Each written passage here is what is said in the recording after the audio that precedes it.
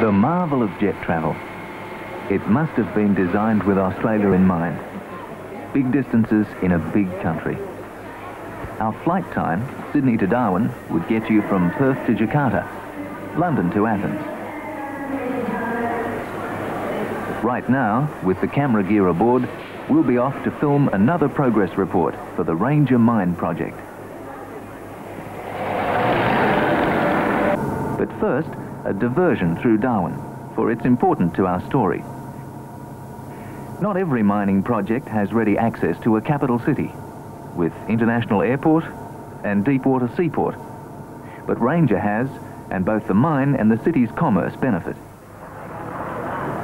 Like the mine's 100-ton generator sets, sent direct from Japan to Darwin. Within 48 hours, local transport had delivered them to the mine site.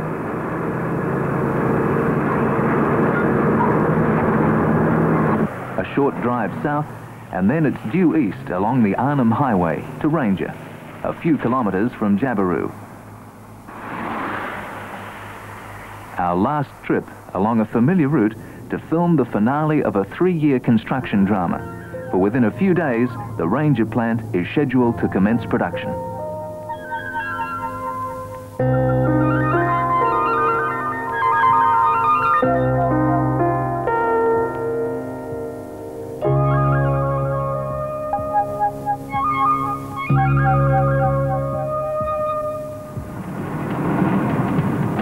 Back again. Yep. Entrance gate, sealed roads, a sign for the tourists, a sign of progress, really. It was nothing like this three years ago. Just a small signpost in the scrub. Impossible to film as we bumped off the end of the sealed highway onto a dirt track. That was February 1979. The place had the relaxed air and charm of a bush town. In fact, a caretaker staff had lived there waiting for seven years while various governments deliberated the fate of Ranger. While the official go-ahead had at last been given, the current wet season saw the project off to a slow start.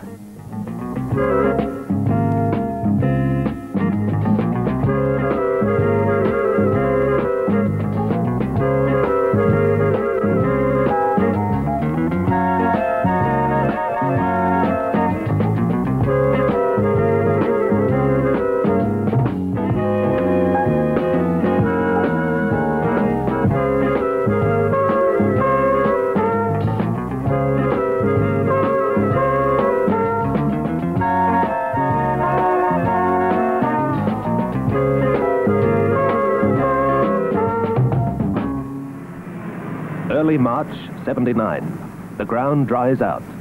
The heavy loaders move in on site. The start of the main camp for unmarried construction workers. Within months, essential services are completed. Sewerage, electricity, laundries, a mess hall. The camp at peak accommodating 1,200 workers, providing each with an air-conditioned room. Not bad, that's much better than the red.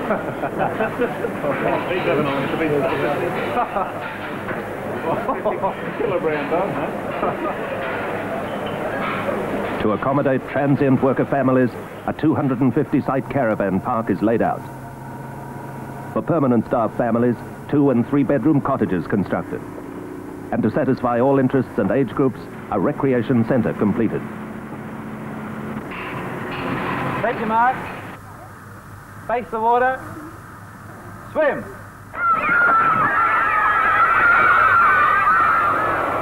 In mid-79, we were back at site filming the groundbreaking ceremony, delayed until the dry season. Galarrwuy Yunupingu was the first speaker, then chairman of the Northern Land Council, which had concluded an agreement with the government entitling the Aborigines to many millions in royalties from the Ranger project. has agreed. And in the establishment of magnificent national parks so that this land is protected, available for all to enjoy, and an example of how people with varieties of interests solve their differences for the good of all. Thank you. Concluding speaker was the Deputy Prime Minister of Australia, the Right Honourable Doug Anthony. The initial production will be 3,000 tonnes of yellow cake a year.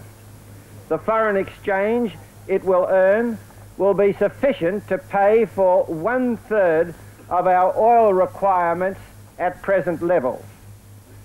Environmental impact, Aboriginal land rights, feasibility studies. Years of investigative reports carefully analysed and then the rules laid down. Now at last, the Ranger project was officially launched, destined to play a major role in the economy of the Northern Territory. Back in Sydney, engineering planning accelerates, for the initial period of construction would be crucial. In the tropical north, the seasons alternate each year between wet and dry. The project becomes a race against time. Six dry months in which to move materials across a continent. To dig down, then build up foundations to ground level before the next rains come. A site engineer comments. Well, if we don't make it in time, we'll end up with some mighty big swimming holes around here, I tell you. Take this excavation for the primary crusher about 106,000 cubic meters of material to be removed for a hole that has to take a 10-story building, and all formed up, concrete poured and repacked with earth during the short dry season. Then there's the tailings dam, our biggest earthworks project. Four kilometres of wall to go round there, but first we've got to dig down and blast below the weathered rock zone, then blow it clean. That way it'll bond firmly with the clay fill to make an impermeable wall. Next year after the rains, we'll raise it to the required level, adding a filter wall outside as well. She'll hold the tailings, that's the waste products from processing, under a permanent covering of water. By the end of the dry season, the pace was on filming the final preparations to beat the wet. When the rains did come, in the steamy heat of November to March, it was Mick Oldham who captured the action with an 8mm camera poked through his truck window. A record 8 and a quarter inches, or 210 millimetres in one six-hour period.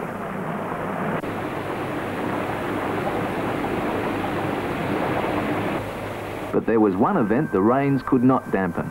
The Jabiru annual boat race, held that year on a much swollen Magela Creek. Okay, rule one. Highway materials will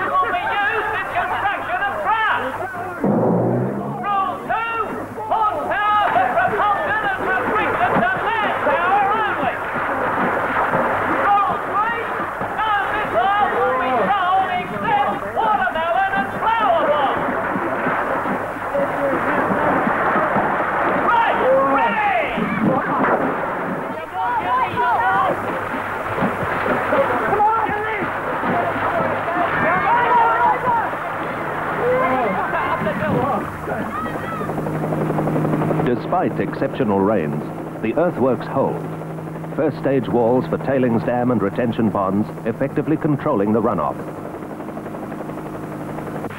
The mine's environmental division starts a program of monitoring to ensure that silting of natural waterways is minimized. Hydromulch and seed applications have stabilized the new embankments. Special techniques allowing the establishing grasses to resist heavy rainfall erosion.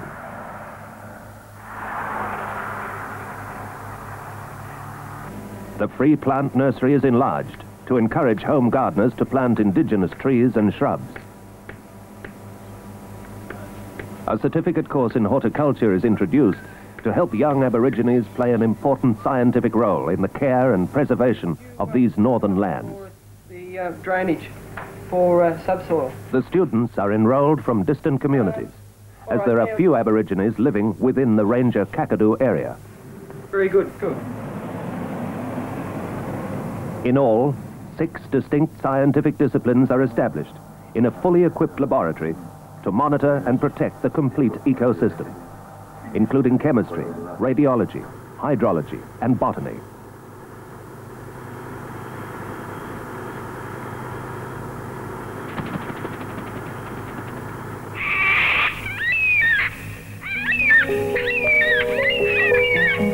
The Ranger Site and Kakadu National Park are amongst the most thoroughly monitored land areas in the world, ensuring a compatible balance between the ecology and the mine. Buffalo fences, recently erected, have already given a new lease of life to local fauna and flora.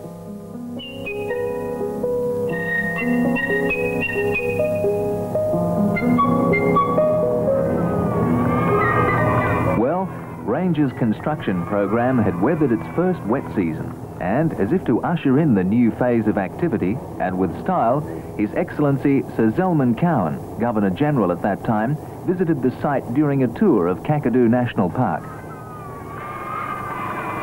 What His Excellency found was a young established community of 1,500 people involved in family and sporting activities, and, as our camera boys found, extremely friendly and helpful.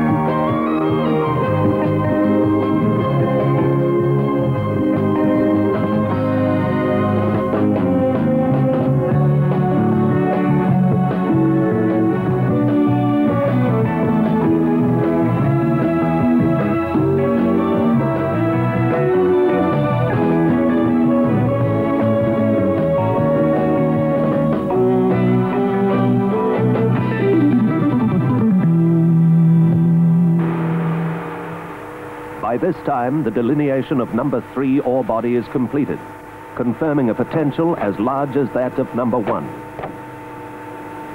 A combined ore reserve that will keep the processing plant operating for 30 years, provide a clean energy equivalent of 3,000 million tons of coal, or theoretically supply Australia's current power requirements for 90 years. With the overburden removed from number one ore body, the Radiation Safety Division starts continuous monitoring of work areas. Now, too, personnel possibly exposed to radiation must wear dosimeters to record any cumulative exposure. Over several months, the average readings proved to be little more than those from cosmic rays and ground sources to which we are all exposed every day. If you are working in the mine site, you'll be working. We learnt these facts and more at one of the mine's weekly induction courses. Interesting, well presented, with topics ranging from safety to environmental objectives and Aboriginal rights. Going to cater for the adults as well as the kids. At the moment, it's just the kids. Details about welfare and amenities were included. You want to play any sport up here? Name it, you've got it.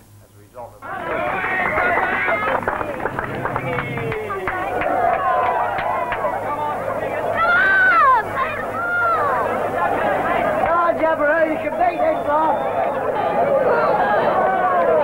Jabiru.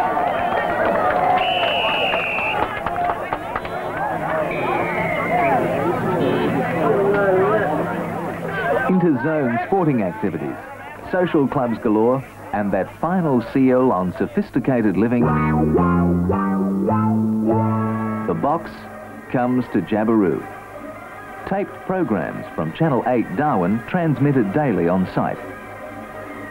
Life will never be quite the same.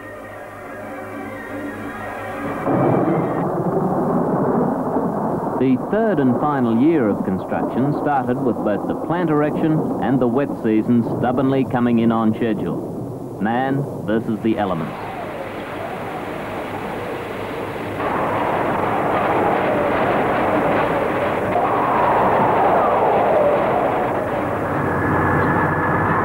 What with the wet season and flooded highways in Queensland delaying the transports, we'd never have made that second year on time if it hadn't been for the truckies and the riggers.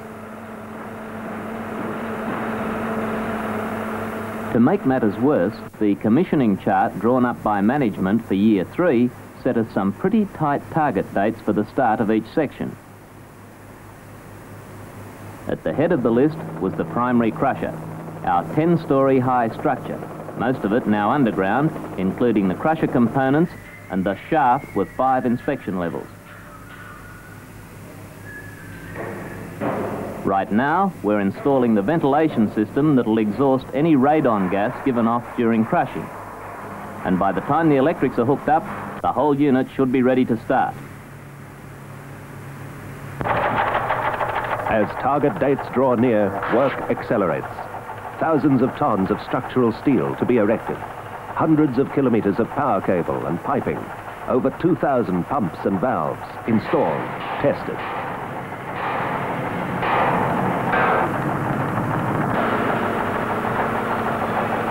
Actually, the first area to reach target was the powerhouse. Only six months after we'd filmed the diesels and generators arriving at Darwin, the first of five was installed on site.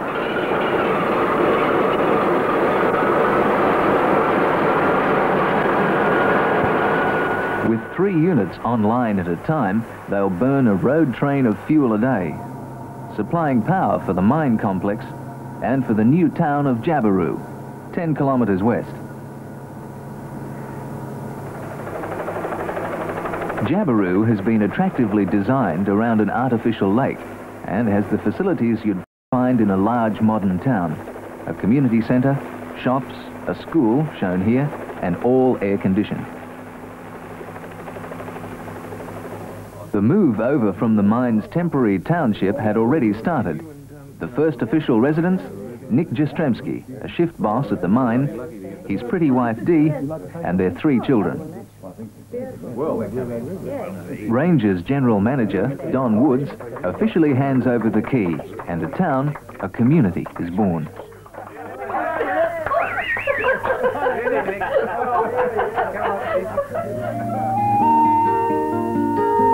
Within 18 months, the 220 air-conditioned dwellings for Ranger personnel would be completed.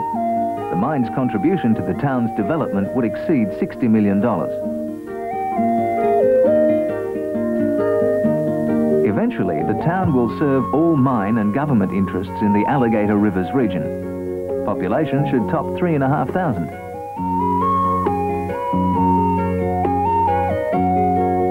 The town and the black-necked stork that gave it its name, Jabiru, exist within the bounds of Kakadu National Park. The park, which borders Arnhem Land, occupies over 6,000 square kilometres. The ranger operations, adjacent to it, 16 square kilometres. In isolated pockets, there's some fine wilderness scenery and prolific bird life on the floodplains.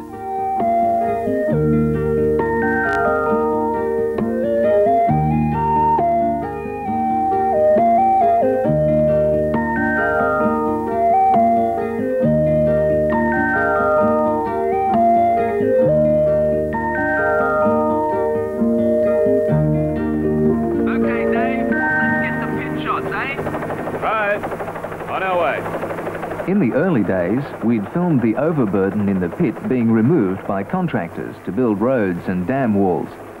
Now, the mine's own heavy equipment had arrived to extract the mineralized material. Virtually the start of 15 years of continuous mining at Ranger's number one ore body.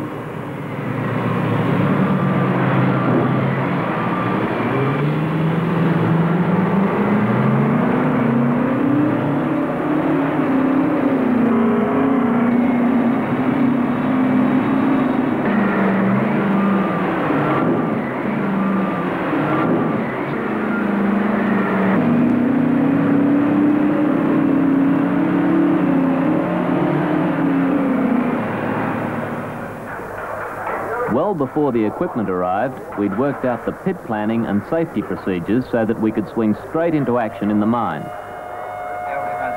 Your fleet load up.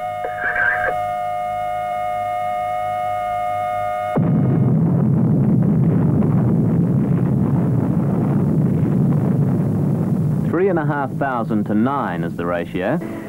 That is, three and a half thousand tons of ore mined for nine tons of yellow cake out of the plant each day. So, from the outset, we introduced two shifts to keep ahead of our stockpiles. To grade each load, it's firstly read by a pair of scintillation heads, which measure the amount of radiation from the ore. Then a computer converts this reading into ore grade, records the data, and directs the driver to the appropriate stockpile. We'll have more than enough stockpiled for the primary crusher when they start her up.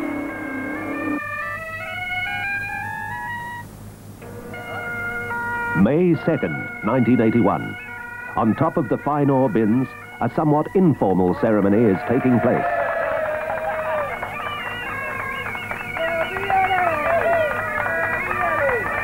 The Australian flag, flanked by those of the Northern Territory and Rangers flying Jabiru, symbolizes the project's joint endeavor and marks the startup of the first main stage equipment in the plant, the primary crusher, to be commissioned with the first load of rock material that morning.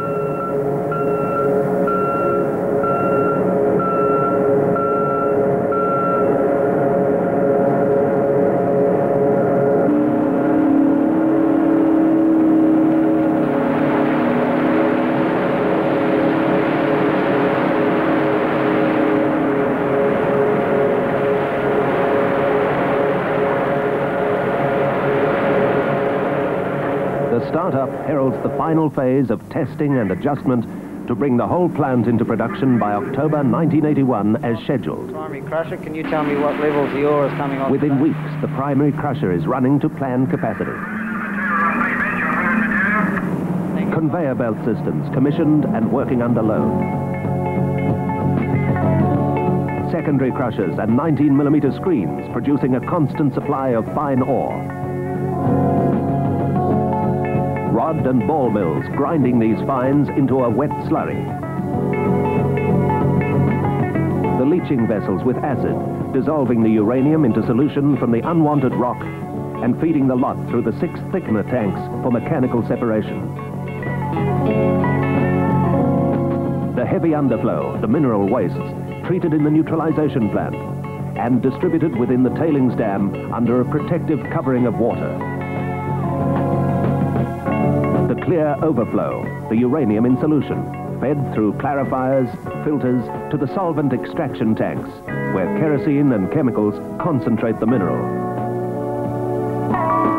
The final stages are reached. Precipitation with ammonia, separating uranium from solution. For the first time, ammonium diuranate becomes visible as yellow clouds infuse the liquor. Go ahead and check the torque densities and see if that's ready. Sure. Density looks good. Torque's 1%. Why don't you go ahead and switch it over, Mike? The closed circuit is now bypassed. The slurry diverted to a centrifuge, emerging as 70% solids. In the furnace, this yellow cake is calcined to a green powder at 600 degrees Celsius. Within hours, it has fallen to the storage bin, ready for loading in drum number one. Right, Larry, off.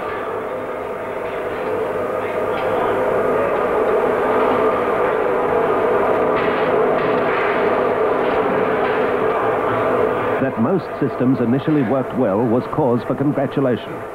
That the finished product, assayed at above specification, was an added bonus.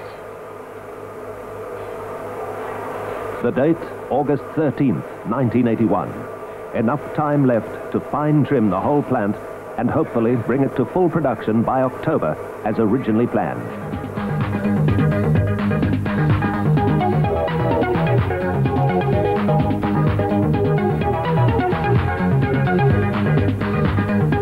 In the event, the Ranger project commenced production on schedule and within budget at a total investment of $330 million.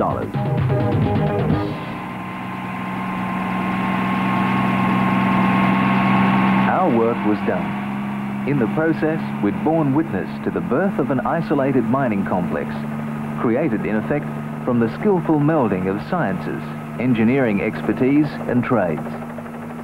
Now, at last, the noise and clamour of those years are over, muted to a steady rumble, the satisfying sounds of a new industry, a new community at work.